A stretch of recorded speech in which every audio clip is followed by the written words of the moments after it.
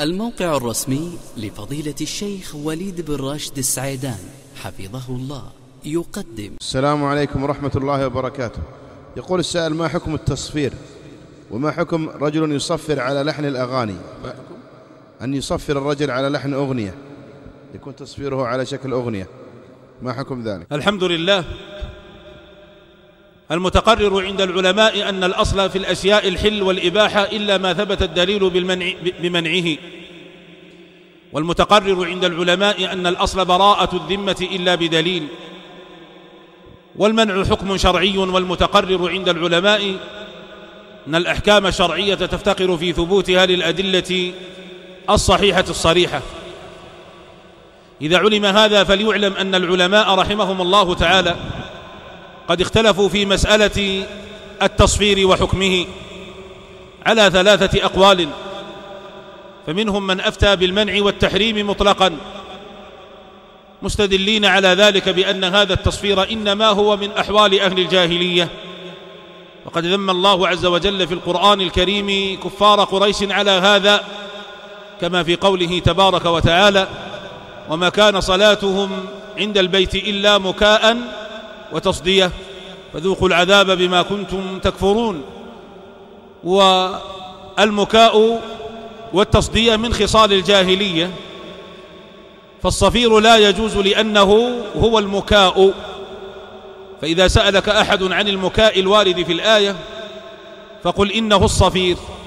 فلما ذكره الله عز وجل في معرض الذم دل على تحريمه لأن المتقرر في قواعد الأصول عند الآئمة الفحول رحمهم الله تعالى أن ذكر الشيء في معرض الذم يدل على تحريمه. وبذلك أفتى جمع كبير من العلماء المعاصرين. ومن أهل العلم من قال بأن التصفير مكروه مجرد كراهة مجرد كراهة. وذكروا بأن الدليل السابق وهو ذم الله عز وجل للمشركين بالتصفير وهو المكاء لا يقوى على تحريم التصفير إذا, إذا, اتخذ إذا كان عادة من العادات ولم يقصد به أن يظهر طقس من طقوس التعبدات. فالكفار من أهل الجاهلية إنما كانوا يفعلونه تعبدا لآلهتهم وأصنامهم فهو من جملة طقوس الجاهلية الوثنية. وأما من فعله هكذا كيفما اتفق من غير أن يقصد به تعبدا ولا تقربا لله عز وجل فإن هذا أمر لا بأس به وإنما قصاراه أن يكون مكروها فقط. ومن أهل العلم من قال بأن التصفير جائز واستدل أصحاب هذا القول بعدم ورود نص صحيح صريح يدل على تحريمه أو كراهته. والمتقرر أن الأصل في العادات الحل والإباحة والمتقرر أن الأصل براءة براءة الذمة إلا بدليل إلا بدليل.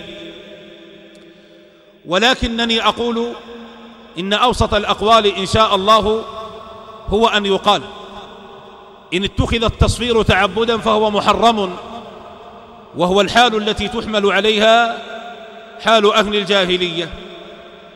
لأن الأصل في العبادات التوقيف على الأدلة فلا يجوز أن نشرع عبادة قولية أو عملية إلا وعلى ذلك التشريع دليل من الشرع.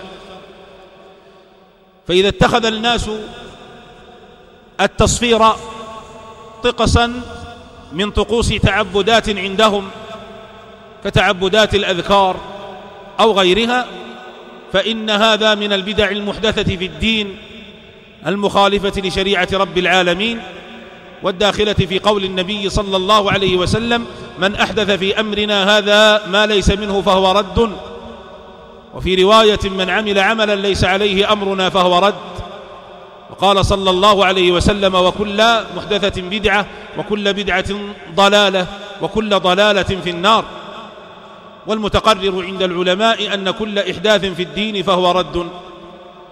وأما إذا اتخذ عادة ولم يتخذ عبادة فأقل أحواله الكراهة من باب سد الذرائع التي تفضي إلى المحرم وقاعدة سد الذرائع أمر معمول به عند أهل العلم رحمهم الله تعالى. فالمتقرر عند العلماء أن كل وسيلة تفضي إلى الممنوع في عاجل الأمر أو آجله فالواجب منعها وسدها. ولأن التصفير من الأفعال المخلة بالمروءة والمنقصة للرجولة. فما رأيكم لو أننا رأينا رجلا بشماغه وعقاله صار يصفر بين الرجال؟ فإن الرجال يزدرونه على هذا الفعل فهو فعل لا يفعل أمام أهل العقل والعقول والكمالات. فهذا فعل يزري بالرجولة ويوجب سقوط المروءة فأقل أحواله أن يكون مكروها والله أعلم.